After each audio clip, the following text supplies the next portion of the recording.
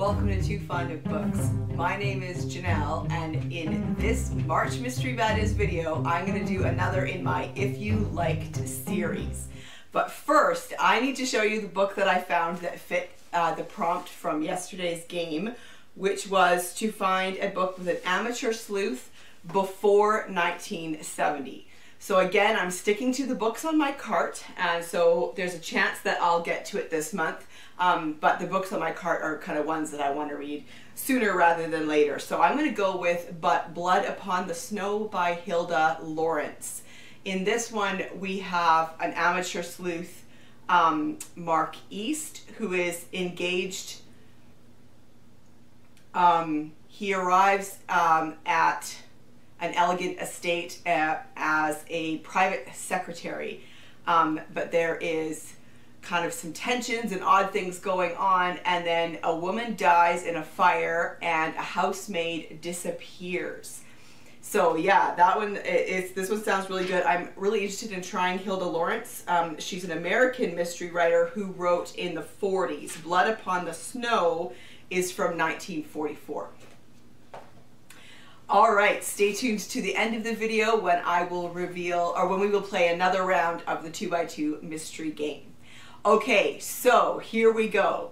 If you liked Jasper Fforde's Thursday Next series, which I adore that series. It's a genre blend. It is so much fun. It's set in an alternate England in the 80s, and Thursday Next is a literary detective it's such a fantastic series. If you liked that series, then I can recommend the Peculiar Crimes Unit series by Christopher Fowler.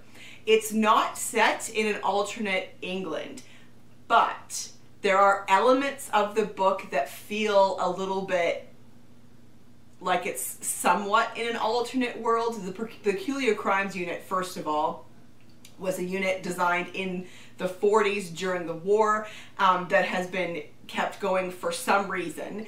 Um, and they, but they're not part of the Metropolitan Police. They, um, they report to the Home Office. So that part's a little bit different.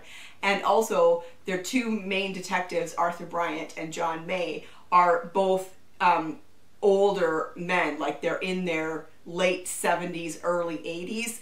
Um, and so like why haven't they been forced to retire so that part of it kind of feels like it's um you know not not in you know our it feels like it could be sort of this alternate universe but it's a fantastic series I love it so much. They're such great detectives. It's quirky and funny, and there is th woven throughout the series is this love of London, which I really enjoy. And you get like you get various parts of London in each of the books, which I think is really fantastic. Um, and then the other book that I can recommend, because I'm doing this in pairs for two by two, is the Mobile Library series by Ian Sansom. Um, Israel Armstrong is the main character in that series, and he heads to Ireland in the first book from England to Ireland to take up his first post as a librarian, and he is very disappointed when he arrives to, to find out that his post isn't at an actual library, it's a mobile library. and he's expected to drive around the north of, of Ireland he doesn't know the area at all. Um, but but the biggest problem when he first arrives is that all 14,000 books that belong to the mobile library have disappeared. So his very first job is to is to find these books. They're again a little bit quirky and quite funny. He partners up with this other guy, and I can't remember what his name is. Um, who agrees to drive the van. Um, but yeah, they're they're very they're very entertaining. They all have this similar kind of quirkiness, lightheartedness, um, humor to them. So if you liked Jasper Fforde's Thursday Next series, then I can recommend the Peculiar Crimes Unit series by Christopher Fowler or the Mobile Library series by Ian Sansom.